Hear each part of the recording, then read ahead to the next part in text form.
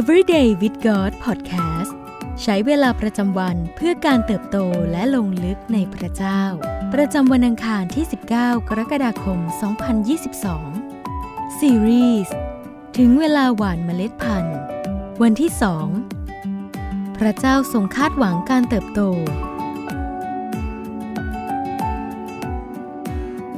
การเติบโตเป็นสิ่งที่หลีกเลี่ยงไม่ได้ เมื่อพืชนั้นแข็งแรงและมีสุขภาพดี เมื่อเมล็ดได้ถูกเพาะลงแล้ว ชาวสวนต้องแน่ใจว่า มันจะได้รับน้ำและแสงแดดที่เพียงพอต่อการเจริญงอกงาม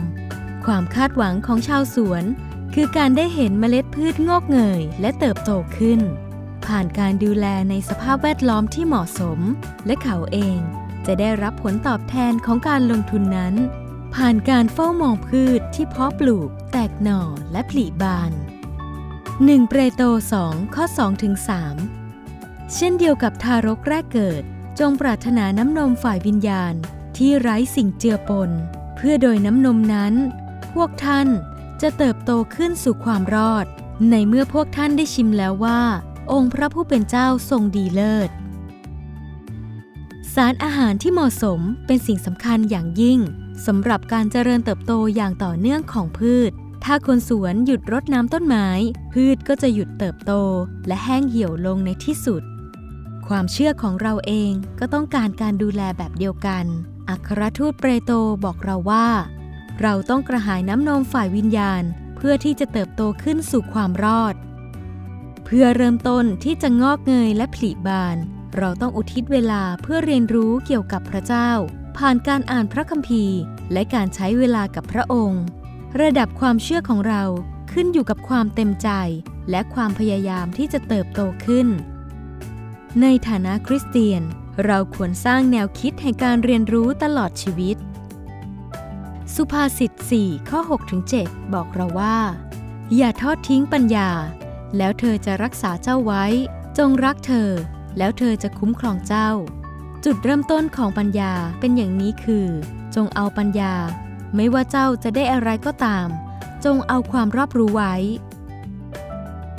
สังเกตว่าการเริ่มต้นการเดินทางเพื่อการเติบโตของเรานั้นง่ายเพียงใด จงเอาปัญญา เราต้องมีความกระตือรือร้นที่จะเรียนรู้อยู่เสมอ อย่างไรก็ตามสำหรับคนบางคน การก้าวผ่านขั้นตอนแรกนี้ ก็เป็นเรื่องยาก เพราะการเติบโตจำเป็นต้องแลกด้วยการเสียสละในการจัดลำดับความสำคัญให้กับพระเจ้าก่อนสิ่งอื่นใด เราต้องละทิ้งบางสิ่งและจัดสรรเวลาในการใคร่ควรพระคำและการอธิษฐาน เราไม่อาจนิ่งเฉยในความเชื่อของเราได้ ลองนึกย้อนไปถึงเรื่องของชาวสวน คิดดูสิว่าเขาหรือเธอจะรู้สึกยินดีเพียงใดที่ได้เห็นการทำงานหนักทั้งหมดนั้นออกดอกออกผล ในแต่ละก้าวที่เราเรียนรู้ เราจะเติบโตขึ้น และสัมผัสได้ถึงผลของสิ่งที่เราทุ่มเท เชกเช่นเดียวกันกับชาวสวน พระเจ้า คาดหวังให้เราเติบโตในการเดินในฝ่ายวิญญาณร่วมกับพระองค์ และขยายอาณาจักรของพระองค์ให้กว้างออกไป อะไรคือสิ่งที่กำลังขัดขวางไม่ให้เราเบ่งบานในความเชื่อของเรา โคโลสี1ข้อ9ถึง12 เพราะเหตุนี้ นับตั้งแต่วันที่เราได้ยินเรื่องนี้ เราก็ไม่ได้หยุดอธิษฐานและทูลขอเพื่อท่านทั้งหลาย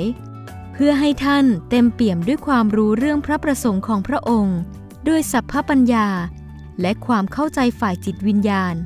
เพื่อพวกท่านจะดำเนินชีวิตอย่างสมควรต่อองค์พระผู้เป็นเจ้า และจะเป็นที่ชอบพระทัยของพระองค์ทุกประการ คือให้ท่านเกิดผลในการดีทุกอย่าง และเจริญขึ้นในความรู้ถึงเรื่องพระเจ้า ให้พวกท่านมีกำลังด้วยฤทธานุภาพทั้งสิ้น ตามอนุภาพแห่งพระสิริของพระองค์ เพื่อให้ท่านมีความทรหดอดทน และมีความอดทนในทุกสิ่ง พร้อมทั้งมีความยินดี ให้ท่านขอบคุณพระบิดา ผู้ทรงทำให้พวกท่านสามารถมีส่วนในมรดกของธรรมิกชนในความสว่าง สิ่งที่ต้องใคร่ควรในวันนี้ ปัจจัยใดบ้างที่ช่วยในการเติบโตของชีวิตคริสเตียน หากเปรียบปัจจัยเหล่านั้นเป็นปุ๋ยแล้ว เราตั้งใจจะใส่ปุ๋ยด้านใดในชีวิตเพิ่มขึ้น เพื่อเราจะเติบโต ผลิดอกออกผล